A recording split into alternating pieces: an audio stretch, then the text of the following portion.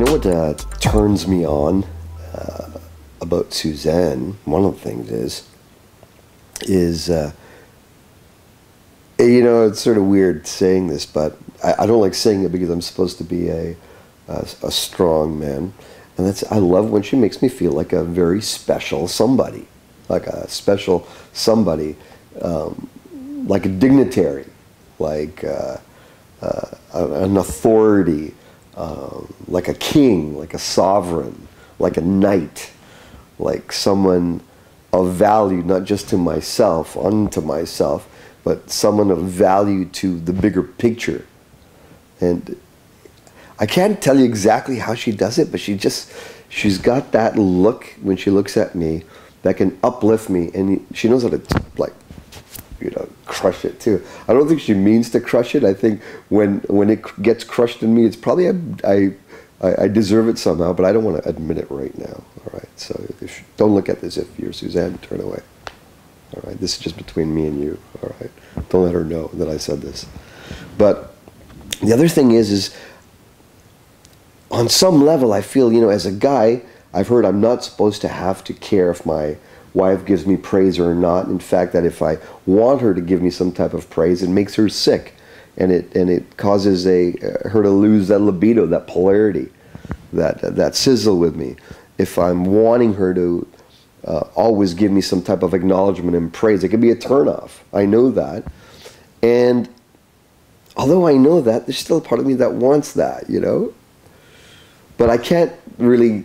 Um, let my needy part beg her for that acknowledgement or make her wrong for it by holding back my love, my connection, my, my, my claim of her, my strength, my presence, you know? So it's, it's this funny paradox that I'm sure you and I go through in some way, you know? I'm just putting things in words a lot of us guys have going on, running.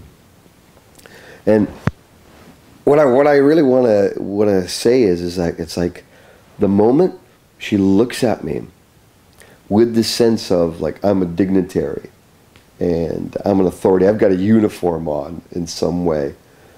And um, then she looks at my inside. She looks at my heart. She knows how to look at the soft parts of me, not just my um, strong parts. And she knows how to touch me with the way she, her tone of voice, her look in her eyes, the way she moves. And um, she sees me for who I am, for real. And it's from that real place that she'll play this little sizzle game. She'll start off with really connected without creating a sizzle, without creating polarity. And then she starts turning that polarity on stronger and stronger, meaning she becomes more sensual with me while staying connected and, and in a way in a non too fuzzy way, in a fake way, not in a fake way, not in a bimbo-ish way, but in a very real way, honoring um, my masculinity, my uh, masculine uh, uh, vibe, energy, you know, my presence. So, uh, what do you think, guys? Do you think, uh, you know, is am I on the right track? Does this is this so for you? You know. Um, I'd love you to comment and share what's what's so for you. What's something that your woman does that's deep?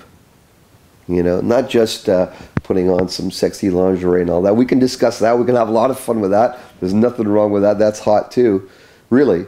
But I also want to, you know, what does she do that's deep, that sort of touches you a little more, scratches beyond the surface of just your uh, desire for sex or, or ramping up the sex urge? What gets your sex urge going and at the same time knocks on a on a deeper door, calls you to become a little bit more present, more full, more vulnerable, and hold your um, masculine strength, your spine.